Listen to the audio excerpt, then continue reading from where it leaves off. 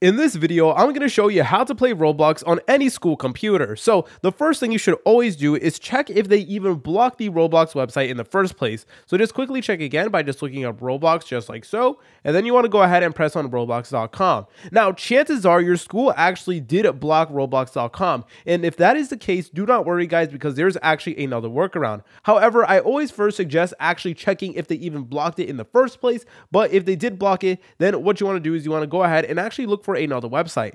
I want you to go ahead and go to any web browser like Google and then just look up now GG. Then go ahead and press on enter.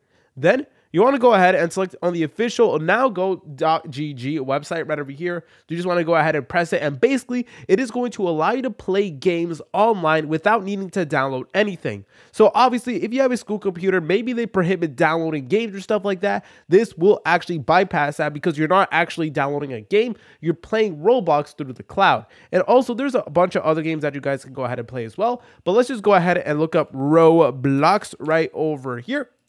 And then there you go. It's right there. And now it will go ahead and actually launch after the advertisement. All right, guys. And then here we are. We now do have Roblox. So from here, you guys can go ahead and create an account or sign in. And then you guys can go ahead and actually start playing Roblox on your school computer. But yeah, it is honestly going to be incredibly fun. And you guys can have a great time playing Roblox on your school computer thanks to this website. If you guys found this video helpful, make sure to leave a like and subscribe. I'll see you in the next tutorial.